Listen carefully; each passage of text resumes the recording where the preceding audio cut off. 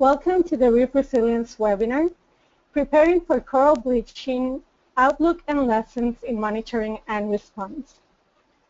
Thanks for joining us today. My name is Aurora Justiniano.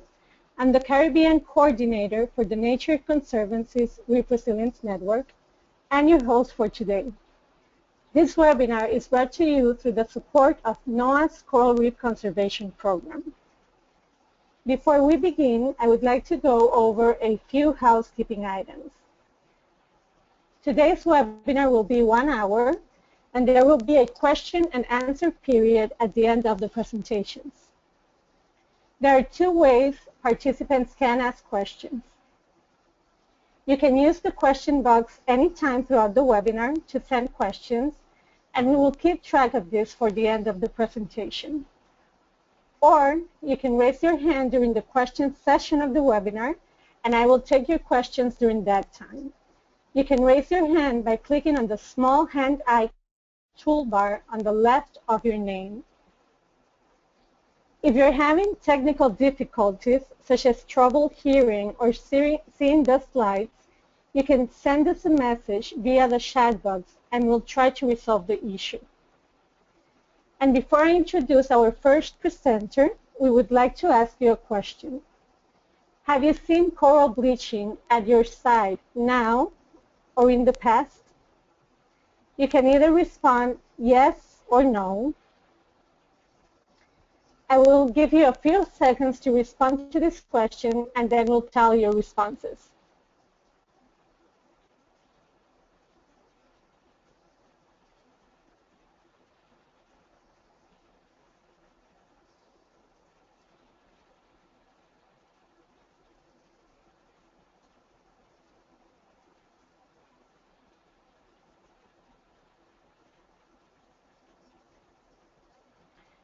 So thanks for participating in the poll. Um, it looks like we have a lot of sites with bleaching this year. And today we have two great presenters. We have Dr. Mark Eakin and Chris Bergh. Thank you both for presenting. And now I would like to introduce and welcome our first speaker, Dr. Mark Eakin.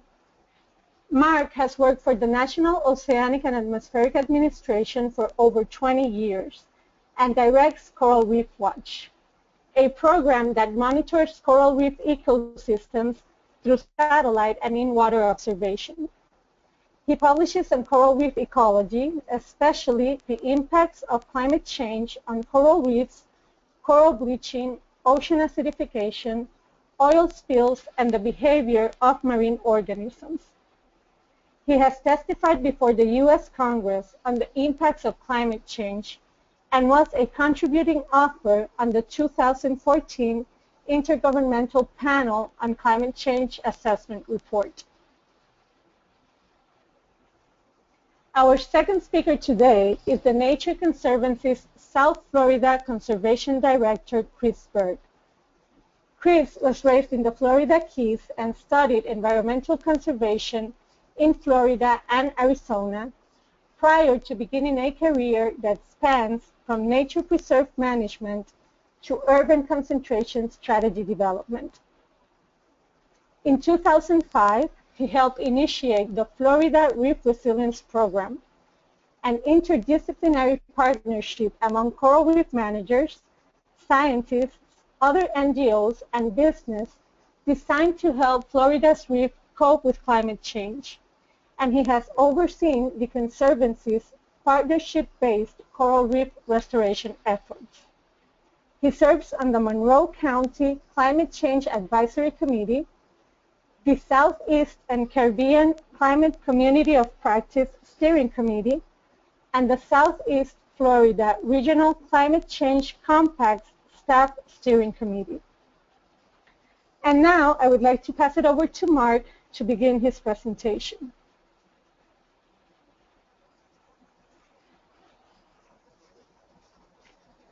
Okay, can you hear me? Yes. Great. Let me get the slides up and hopefully on my screen you are seeing the presentation.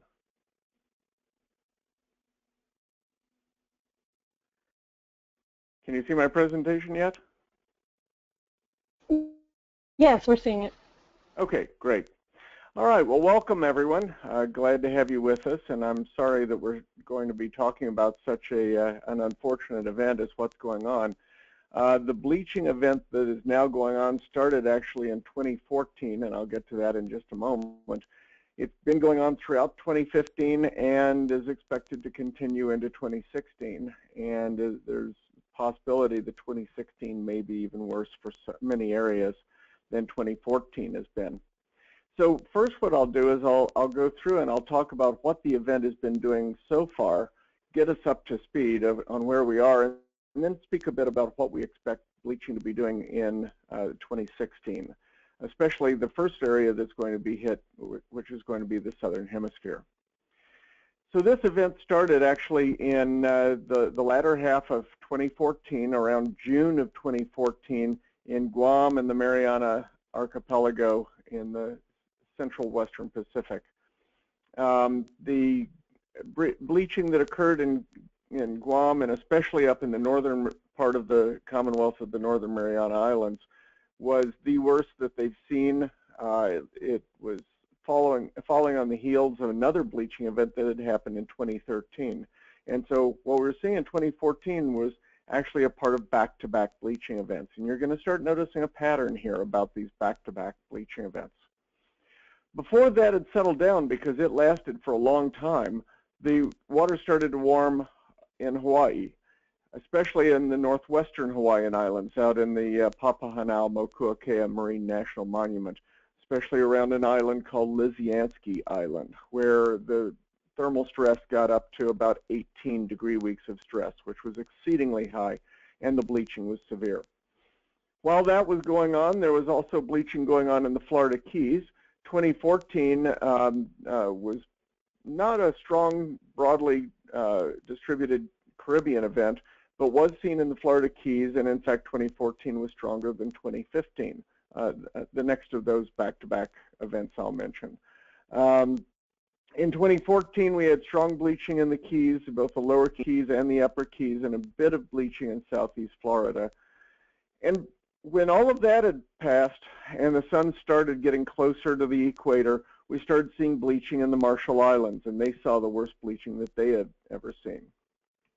Well, we moved on into 2015, and the first half of 2015, while the sun is over the southern hemisphere, we were seeing bleaching in the South Pacific. It Started around the uh, Papua New Guinea and the Solomon Islands.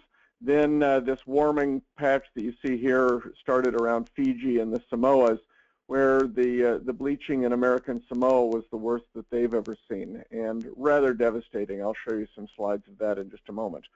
Um, that was early in 2015. And then the El Nino that we're in now really started firing up, and we started getting this warming across through the central Pacific. And the, the extreme warm temperatures uh, started to extend from Kiribati across from uh, the Pacific to the eastern uh, Pacific and uh, colliding with the coast of South America. And we were seeing high thermal stress and uh, some bleaching in the Galapagos, and a, a, lot of bleaching in Panama. Now, all of these charts you'll be seeing are using our, uh, our bleaching alert area scale, which means that the, the blue or light blue or white is uh, no stress. Yellow means a bleaching watch, or it means that hotspots are present. A bleaching warning means that we have reached the point that it's one degree above the normal warmest temperatures of the year, so we, are starting to, to, accumulate degree heating weeks. And at, at four degree heating weeks, we reach the alert level one, which is significant bleaching, and alert level two, where there's widespread bleaching and uh, significant mortality uh, in most places where that occurs. So that was the first part of 2015 in the Pacific. Well, at the same time as that was still going on, in uh, sort of the, the April to June timeframe, we started seeing bleaching going on in the Indian Ocean. The warming here was not as high, although that may be related to some things, uh, some details about our, our new five kilometer products. But they also just may have been more sensitive. And there was bleaching seen in the Chagos, or the British Indian Ocean Territory, whichever name you want to go by, as well as up in the Maldives. That warming continued uh, as, and moved to the northeast, as they often do. We had some warming and some bleaching in uh, Indonesia and uh, the Philippines and parts of Southeast Asia. Not too severe at that point, fortunately. But we, you know, at this point, we've now had bleaching in the Pacific and in the Indian Ocean in 2015. Well, 2015 continue, continues on. We get into the second half. We're continuing to see bleaching in the Kiribati. We're, we start to see bleaching in Hawaii. This is the different from last year in that rather than being really concentrated in the northwestern Hawaiian Islands, the bleaching was seen in the main Hawaiian Islands. Now that had been had occurred in 2014 as well. This is the next of our back-to-back -back bleaching events we've been seeing in this uh, series. Um, but the, the bleaching was not very severe in 2014 and was mostly restricted to individual bays and, and uh, smaller inshore areas. In 2015, though, it was much more extensive, and we also started to see bleaching in the Caribbean. Going in detail, what was seen in Hawaii, uh, again, mostly in the main Hawaiian Islands this time. Uh, the strongest bleaching has been seen around the Big Island and around Maui, but it's also been quite extensive uh, around Oahu, especially windward Oahu and up in uh, Kauai. So all of the main Hawaiian Islands were seeing bleaching this time. Not so bad in the northwest uh, as what we'd seen previously. Here you see a couple of images. This is on Oahu, and you're looking at uh, the bleaching was so severe in Kaneohe Bay that you're looking at uh, bleaching from stand-up paddleboard. Uh, as, as uh, Rusty Brainard was paddling through and looking down to see how things were. This in Maui is an especially heartbreaking sight. If you can't quite tell, that is not a live coral. That is a coral known as Big Mama in Maui and uh, the Olowalu Reef. That coral has now reached about 90% mortality.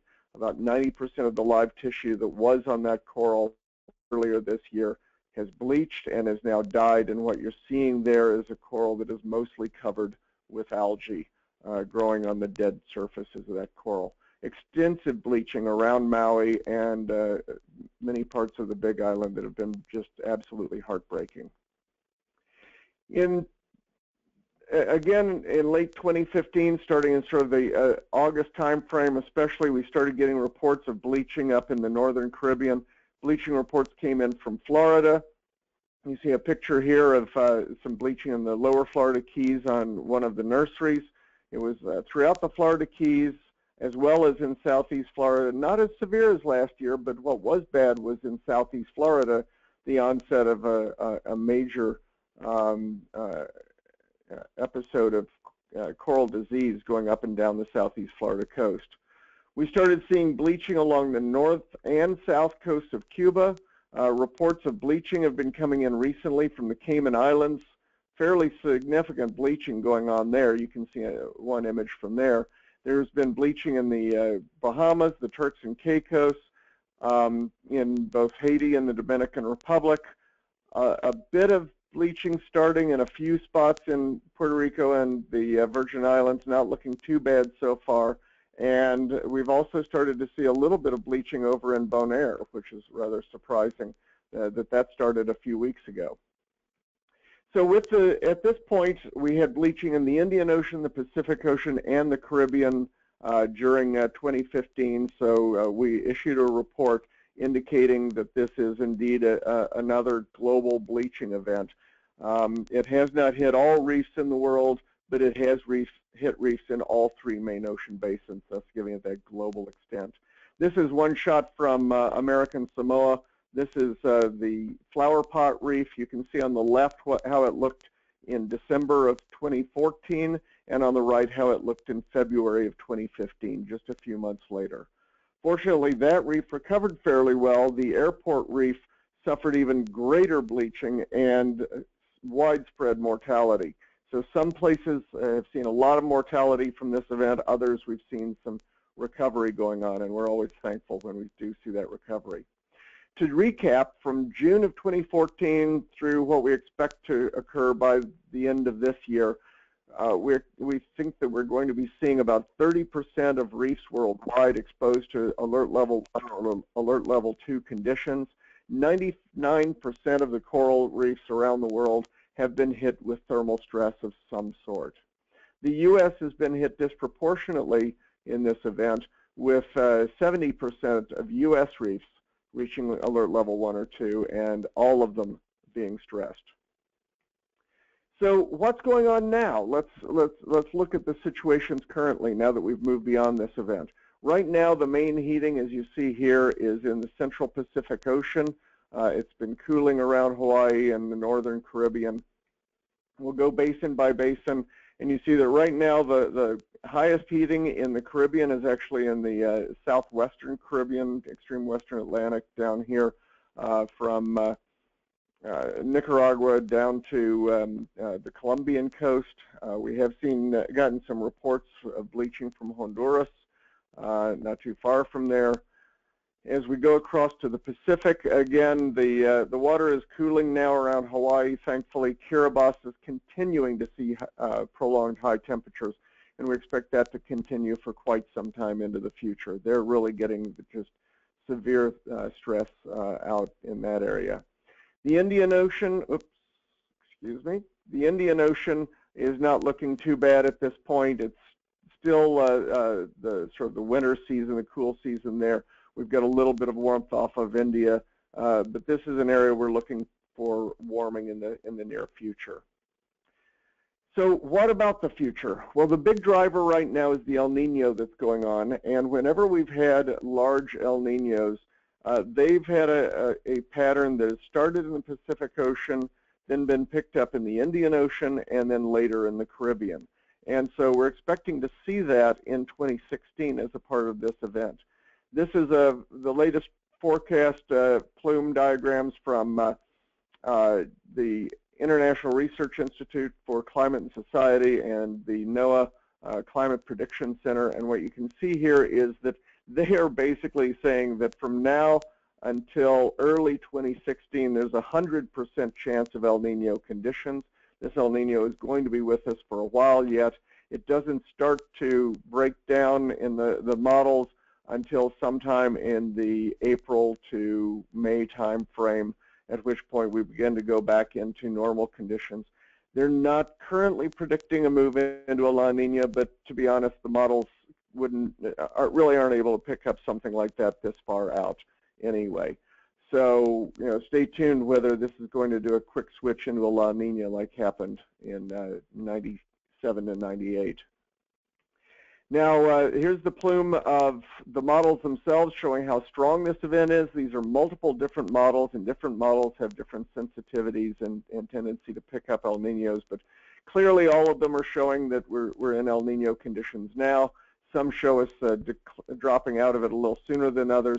The consensus of the models, this yellow line and through here, shows that we're going to continue with an El Nino that's going to be close to the severity of the 97-98 event, and then we'll start to uh, deteriorate uh, as we get early into the, uh, the next year, but we won't drop out of El Nino conditions uh, for several months after that. So what does that mean for the corals? Well, let's look at our standard four-month outlook from the uh, our, our, bleaching thermal stress uh, four-month outlook product.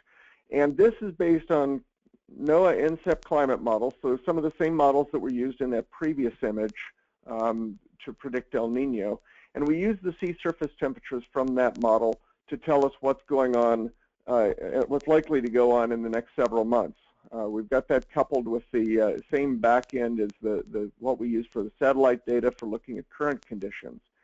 And here you're seeing, again, the white is no stress up to the darkest red is alert level 2.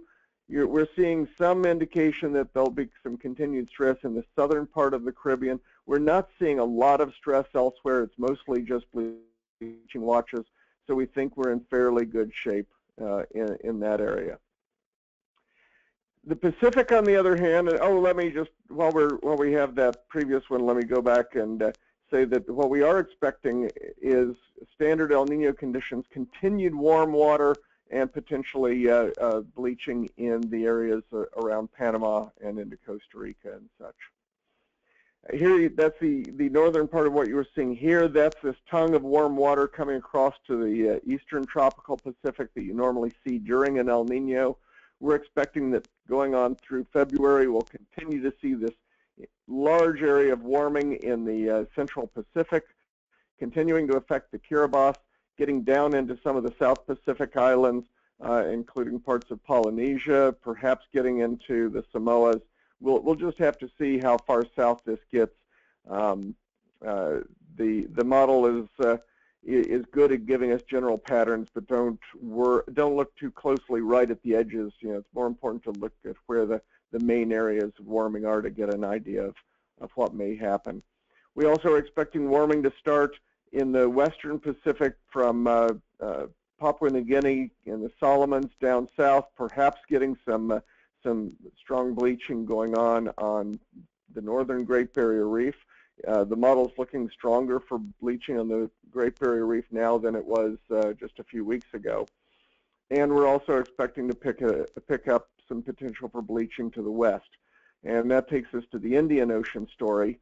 And there what you're seeing is through February, uh, bleaching in the, the southern in, Indonesia region, um, the northern part of uh, Western Australia, and starting to get some warming around uh, the, the eastern islands of Africa and uh, the African coast, as well as a bit in the central Indian Ocean. Not too bad though, but the concern here is that normally the worst of what we see is later on in the year. I'll get to that in just a second. I just want to remind folks that you can also look at the details of this, break down that four-month outlook on a week-by-week -week basis on our website. And here you can see, for example, the next two weeks of, uh, of warming uh, in that model output run. Looking at uh, a couple of areas in, uh, in particular, this is zooming in at um, Australia. Here you see only getting to alert level one in the next uh, in the 9 to 12 week period. It hits um, alert level 2 in the next frame after that, the 13 to 16 week period. So we're a little ways off at this point from bleaching in the Great Barrier Reef. Uh, on Western Australia and in the area of uh, southern Indonesia around um, uh, Nusa Tenggara, we're expecting to see a buildup of thermal stress that we were seeing a moment ago. Again, these are, are um, regional uh, virtual stations. You can go into these for any area you're concerned about, watch what's going on, look at it in a, in a month-by-month -month basis for the next few months, as well as, of course, uh, zooming in on, on later outlooks, etc. Well, something that we normally don't do, but we are this year because of this very strong El Nino, is providing in, information on the, the longer range outlook from the models. Uh, the models usually are only strongly predictive out to about four months. We start to lose skill after that.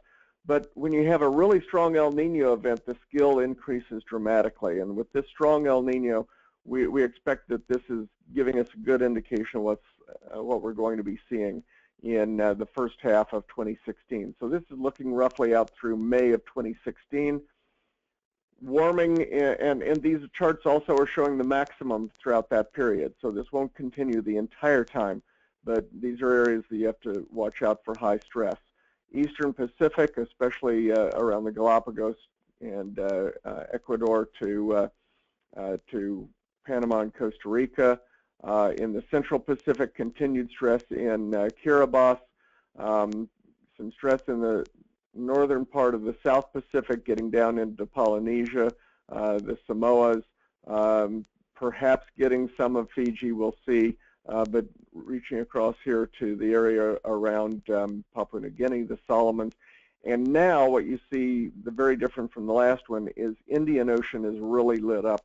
The reason is because the strongest bleaching in the Indian Ocean really kicks in about April and continues then until um, uh, it moves into the South, uh, Southeast Asia and the, the Coral Triangle in the May, June, July timeframe. And so as you normally would expect to see with a large El Nino, we're seeing patterns that say uh, we're absolutely uh, expecting to see significant bleaching throughout uh, the Indian Ocean. All of the Indian Ocean sites should be uh, prepared uh, for a coming bleaching event. And with this pattern coming on uh, at that scale, you would usually expect to start to see warming coming in again in the Caribbean, um, starting in uh, mid middle of 2016 and going through about um, uh, November, depending on the region. And in fact, one thing that we're just starting to pick up is showing even in May the suggestion that we'll start to we'll already be starting to see that warming in the Caribbean. Uh, so that's very troubling, but it, it, goes right along with what we're expecting based on past El Nino examples. One thing I want to make sure folks realize is don't stop with your bleaching observations just because the corals have recovered. This is a story from what happened in Hawaii last year in the 2014 bleaching.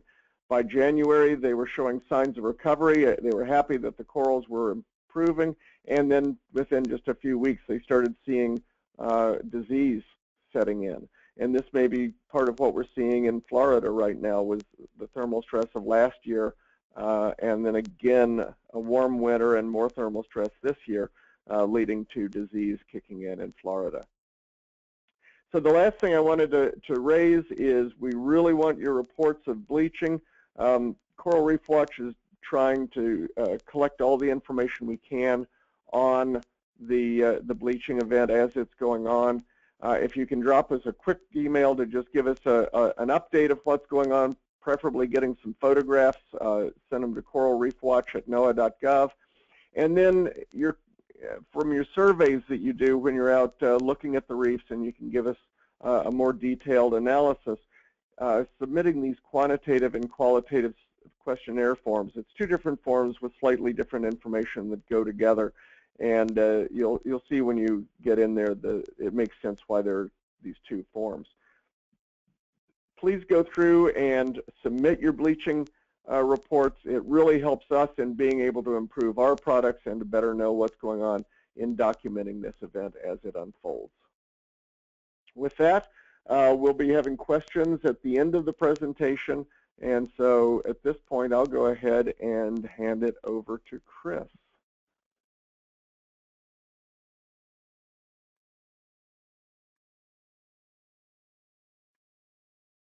Okay, Chris, hopefully you are receiving it now. I am receiving it now. Is everybody hearing me okay? Yes. Great, thank you. Oops. Okay, hello everybody. Uh, again, my name is Chris Bergh. I am the South Florida Conservation Director for the Nature Conservancy, uh, based in the Florida Keys. I am uh, one of a, a, team of people that are focused on uh, conservation uh, for Southeast Florida, including the Keys, including uh, the area of Miami, Fort Lauderdale, the Palm Beaches, and even out to the Dry Tortugas. Uh, coral reef conservation is a particular focus for us, and I'm going to be giving you a description tonight of the Florida Reef Resilience Program, which the Nature Conservancy is, is very involved in, but which involves many, many other partners. So uh, Mark's been giving you the very big picture, and now I'm going to zoom in to, to South Florida. And this will focus on coral bleaching monitoring, but the program is, is broader than that. the Florida Reef Resilience Program uh, was initiated in 2004 as part of a uh, memorandum of uh, understanding between the governments of the United States, represented by the National Oceanic and Atmospheric Administration, uh, the government of Australia, the Great Barrier Reef Marine Park Authority, and the state of Florida, who agreed that uh, understanding better the uh, concepts of ecological resilience and how they could be applied to coral reef management, conservation, and sustainable use would be a, a good use of everybody's time.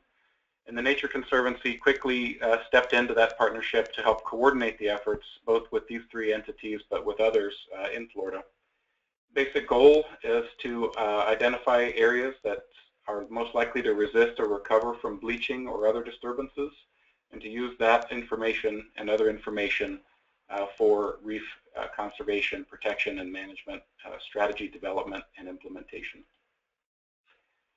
It is a uh, large and complex partnership. We've got, uh, again, the federal agencies that are involved, state agencies, a variety of academic institutions, and non-governmental organizations, uh, including the Nature Conservancy. Um, this uh, slide represents uh, organizations that are members of our steering committee, which meets uh, on at least a quarterly basis via telephone or in person to guide uh, the direction of the program.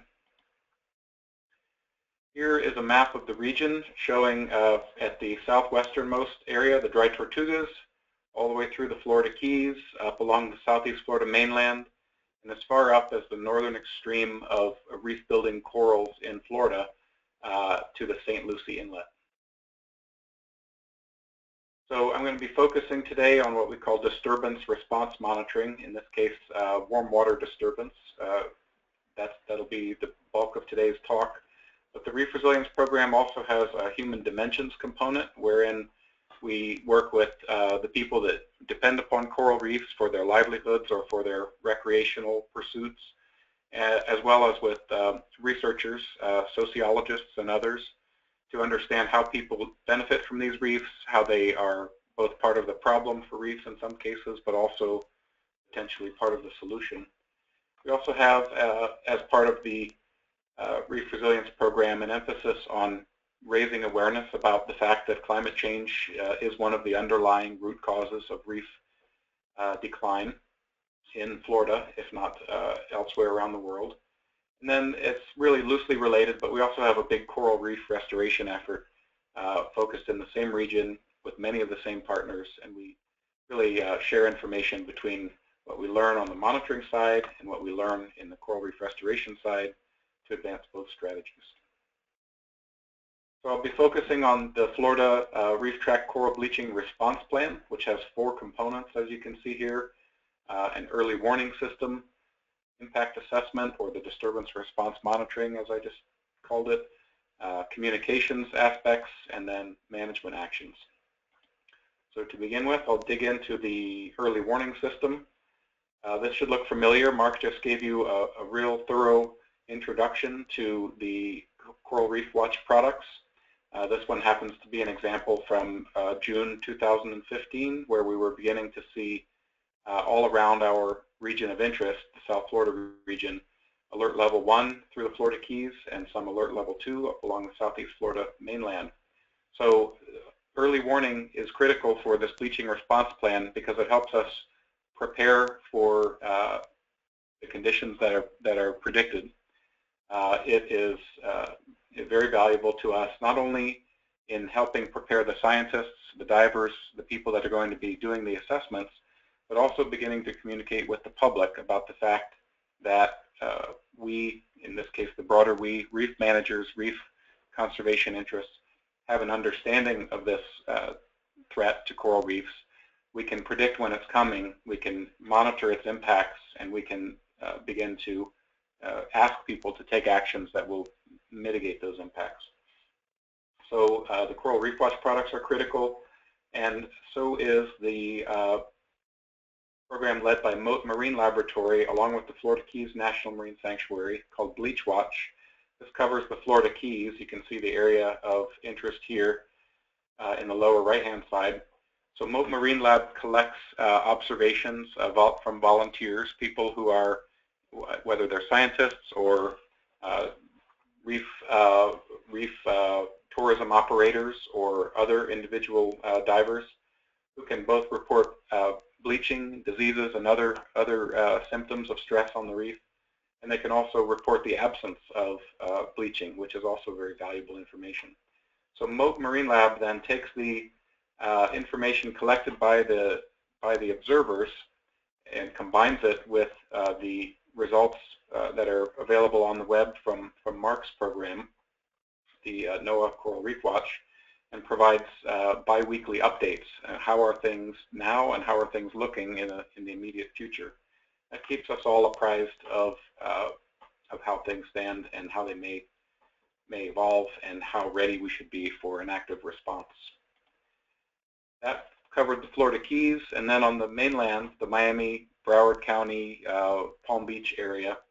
Uh, a similar program managed by the state of Florida uh, enables you to uh, take your observations and describe them and plug them into the, a, a very similar system.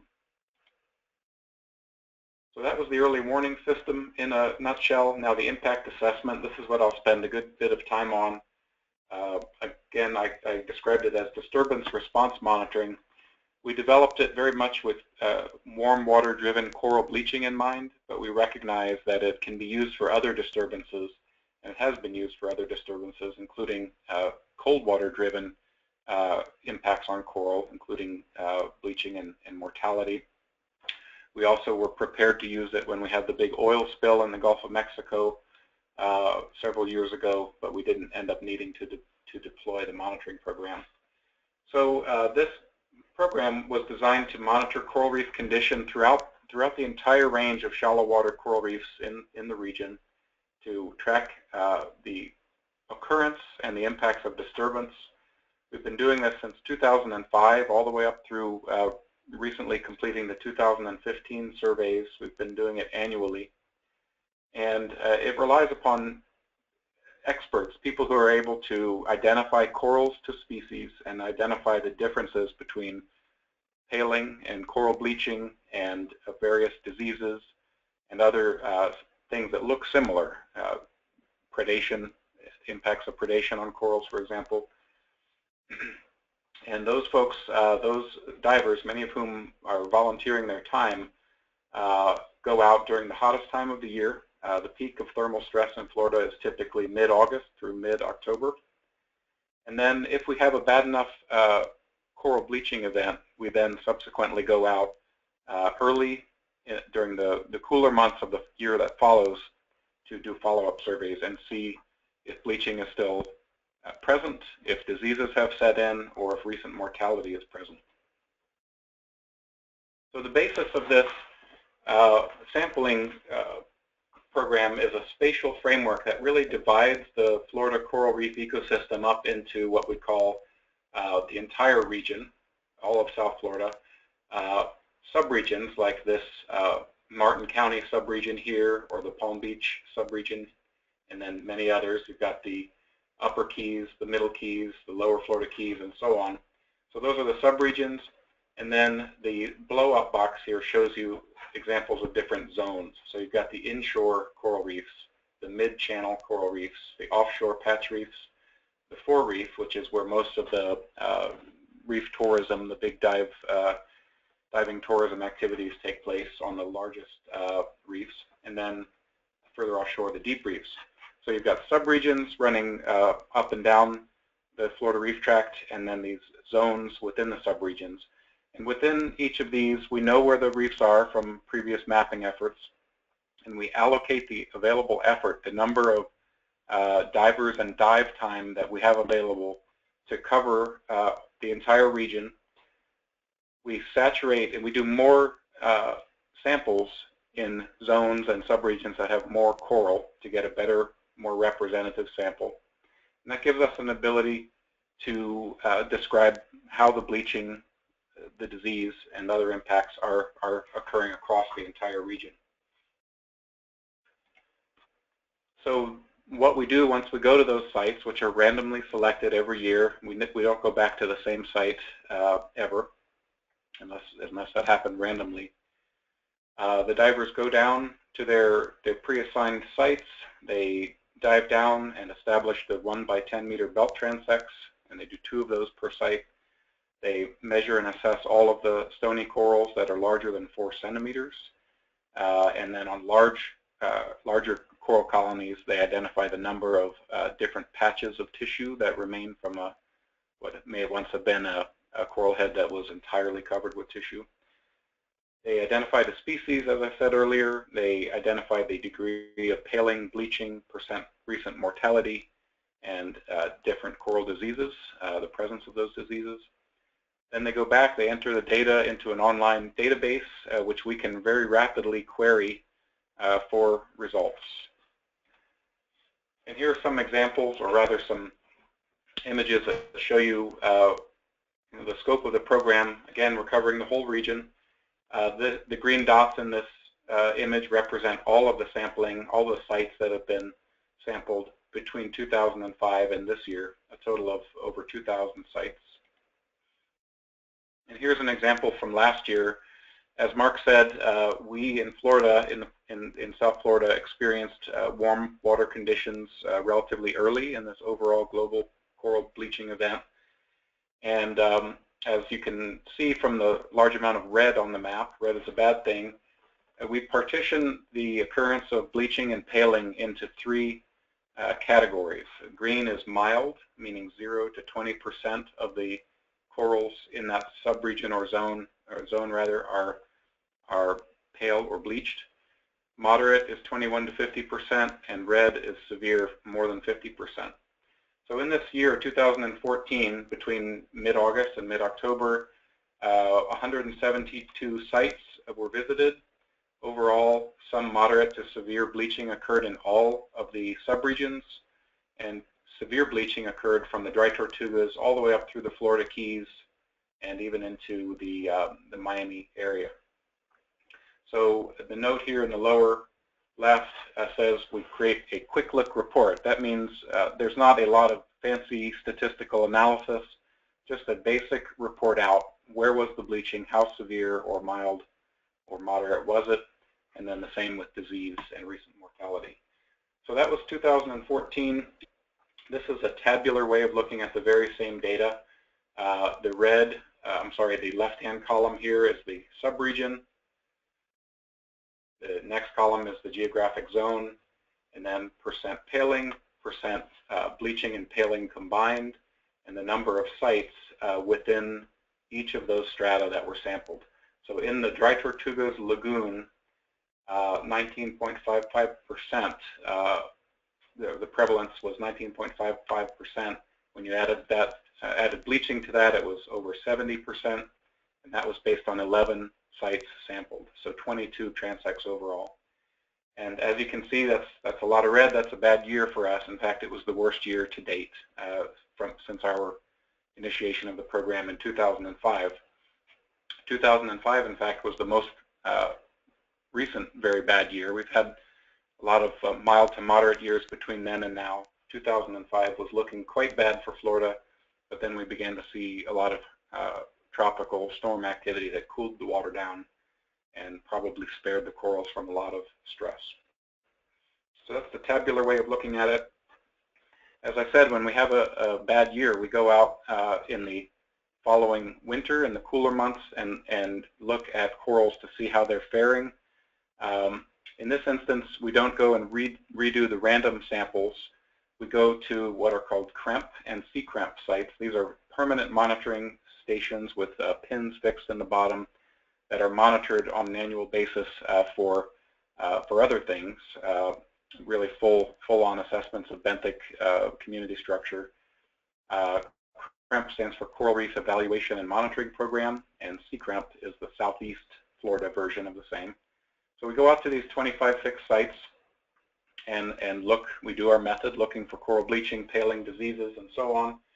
And we were happy to see in 2015, early 2015, uh, January and February of 2015 to be specific, that uh, there was only a little bit of bleaching still evident and that there was no, uh, actually this particular map doesn't, doesn't show the paling. Here when you combine the paling in, you see that basically things had moderated a lot. There was mostly green, meaning less than 20% paling and bleaching, a couple of sites uh, in the yellow here that were moderate, meaning 20 to 50 percent. So between um, the end of uh, or the middle of October 2014 and early 2015, there was a serious um, moderation in in the prevalence of bleaching and paling. Uh, however, uh, we did see uh, some recent mortality. So the red here is greater than 10% recent mortality, yellow is 5 to 10%, green is less than 5%. Uh, there were several sites uh, here off of Miami and here off of the Upper Keys where there was what we classify as severe, more than 10% recent mortality. But um, that was, uh, we were happy to see that because we could have expected more given the heat and given the prevalence of bleaching. Uh, disease occurrence was also very low. Here again is the, the tabular version of that map. And I'm just going to carry on carry on to the present. So we just finished our summer uh, 2015 bleaching um, uh, disturbance response monitoring. We were able to hit more sites this year, 250 sites overall. We saw that it was less, uh, bleaching and paling were less prevalent than last year, more moderate, the yellow color, although there were some red, severe, more than 50% bleaching in both the middle and upper Keys uh, subregions.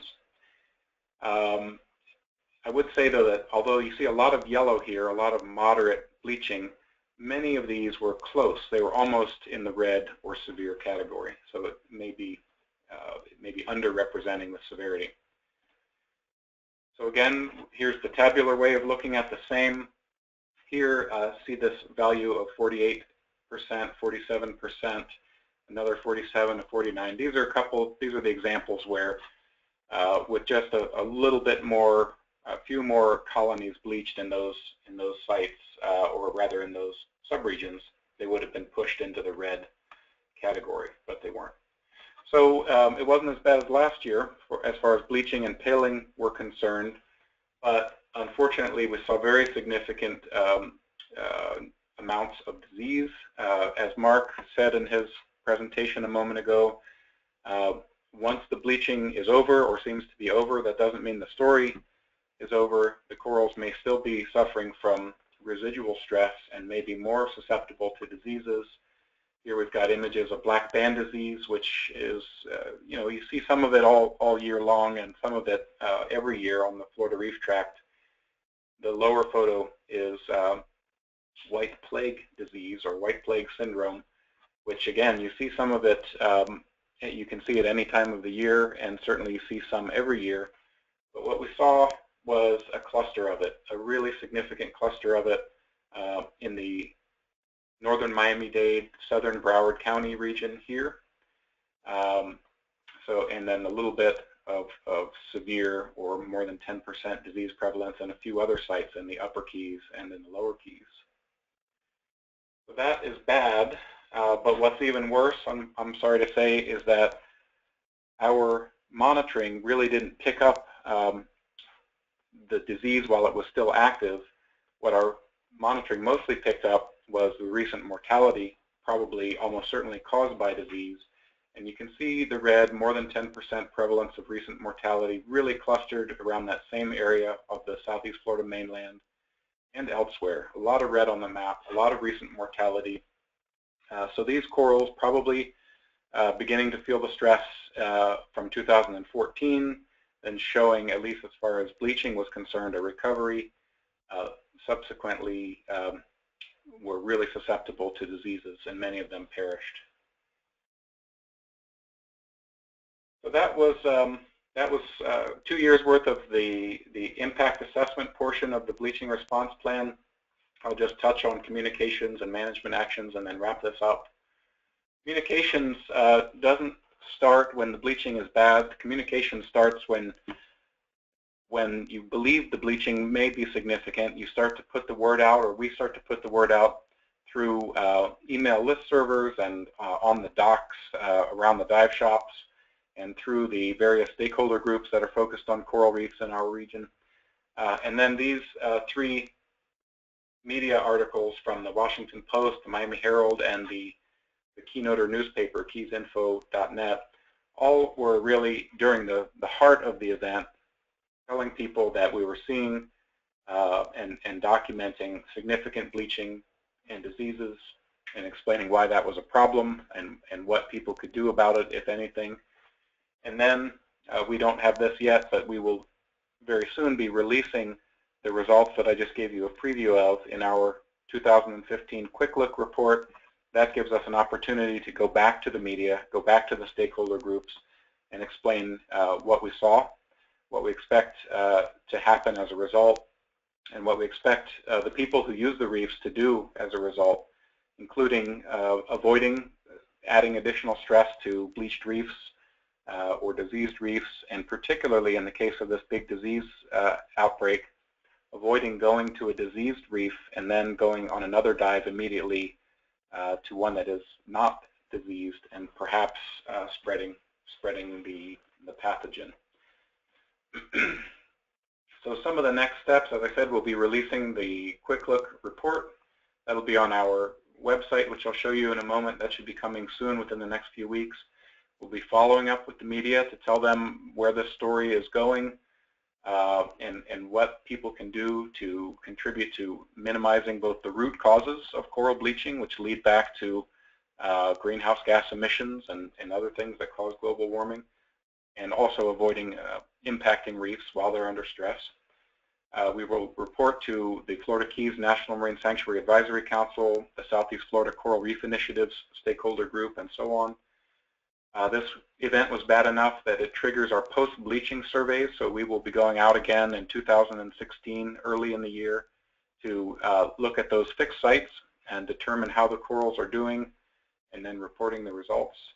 And uh, before you know it, we're getting ready again for our 2016 surveys um, getting the sample sites identified, getting the teams to know which sites they're meant to uh, survey, re recalibrating them or retraining them on the method so that they're they're all using the same method, doing our quality assurance, quality control program, and then uh, beginning in August they'll they'll start the diving again.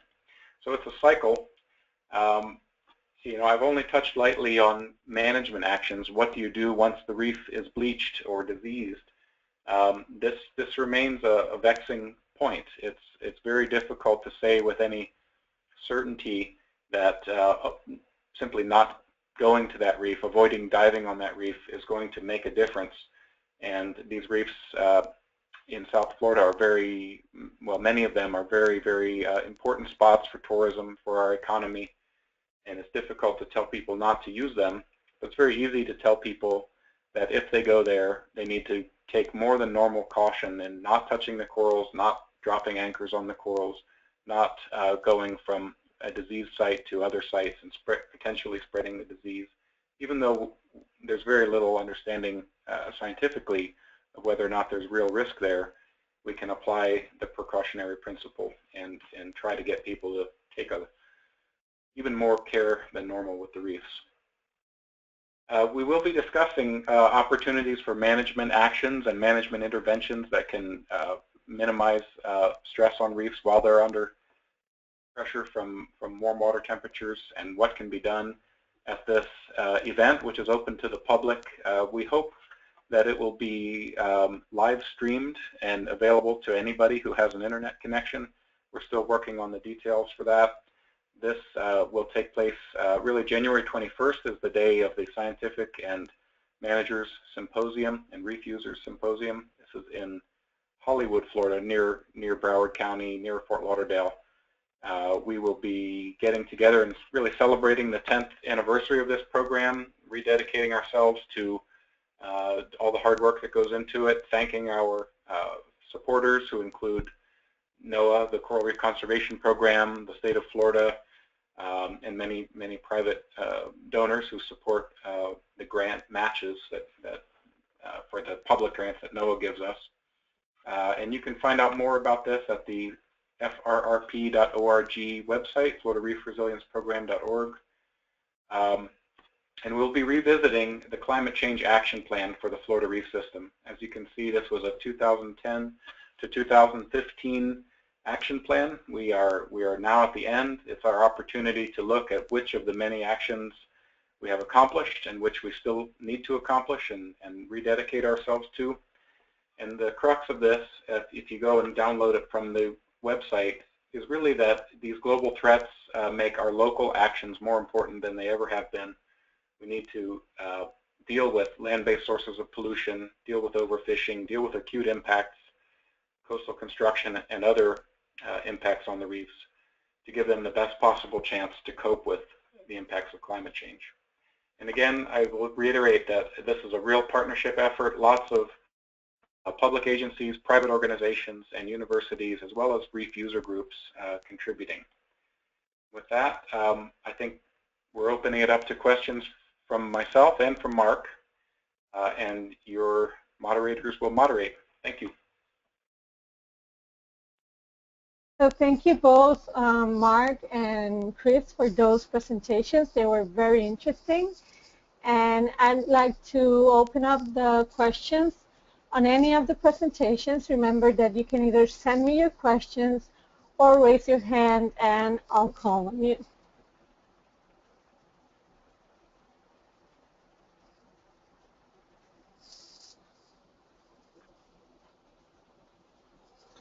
Okay, so we have a question. Our first question is for Mark. And Mark, um, could you please speak a bit more about how do these tools incorporate factors that may influence local variability of bleaching? So that's actually a challenging thing to bring in. Uh, the, the tools at this point are based entirely on the response of corals to thermal stress and are calibrated based on the temperatures seen in that area. So the tools are, um, there are really two values that go into uh, our thermal stress products. What is the temperature now and what is the temperature that the corals normally see? And what we use for the climatology, or what the temperatures the corals usually see, is something called the maximum monthly mean climatology, or it's the average temperature of the warmest month of the year at that location. So this is calibrated to the location and has information built into it then on the temperatures that those corals in that location normally see. Now these products are, uh, the, the satellite products at this point are limited to a five kilometer resolution and so there certainly could be finer scale uh, variability of what's seen on reefs from fore reef to back reef, uh, very localized um, uh, adaptation to uh, warm conditions, things of that sort that are not considered in these products. So this is one of the very important reasons why we need you to be taking observations of bleaching uh, and, and getting good location information because for local management there may be the opportunity to um, use these data to identify areas where corals are more uh, resilient or more resistant to climate change um, uh, or you know, have a may have a better ability to, to bounce back after bleaching than uh, other areas. So we, we would love to have a lot more local information, but there's not a lot of local information in many areas uh, to build into the system.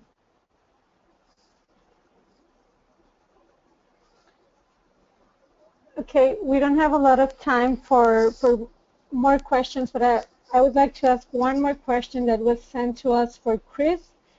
And this one is, um, the Environmental Research Institute.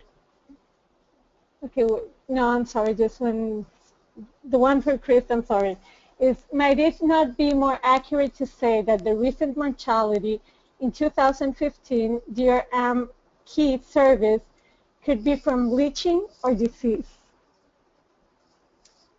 Well, because we were not there tracking um, the fate of these corals uh, day by day, week by week, or even month by month, we we have to make some assumptions. I think broadly our assumption is that some of the recent mortality is likely to be attributable to bleaching, uh, where and some is likely to be attributable to disease as the proximal uh, source of, of death, if you will. Um, however, it's really, we, we think of it increasingly as a continuum. So the corals are stressed, they are bleached, some recover and some don't. Even the ones that recover, however, are weakened uh, and may be more susceptible to diseases. And, and when we see a, a hot spot of uh, disease uh, and a subsequent hotspot of recent mortality, it's our inclination to, to believe that the, that the disease was the proximal cause, but it may have been bleaching that, that set that particular coral up for disease, uh, for disease in the first place. So um, that's, that's the complicated answer to the question. Okay, and just one more quick question for Mark. Uh, what are the projections for the Maldives? For the Maldives, uh, we're uh, looking at uh, the very good chance of uh, severe bleaching this year. Uh, at this point, uh, I would be concerned that any of the reefs in the Central Pacific, I'm sorry, the Central Indian Ocean are likely to have even more bleaching than they had last year. Okay, so I'm really sorry to have to wrap up the questions and answer sessions, but our time is up. Um, but we encourage you to continue the conversation of strategies for bleaching response on the Reef Resilience Network discussion forum, which is an interactive online community of coral reef managers and practitioners from around the world. You can go to reefresilience.org and click on the network tab to log in or join the network forum. And the questions that we didn't have time to get to today will be posted and answered there. Um, so here is a list of the resources that were mentioned by the presenters today. Uh, this will be sent out along with a recording of the webinar to the Reef Resilience Network email list tomorrow. If you are not on the list and would like to be, please email us at resilience at tnc.org. And also, please share it with any other manager you think would be interested.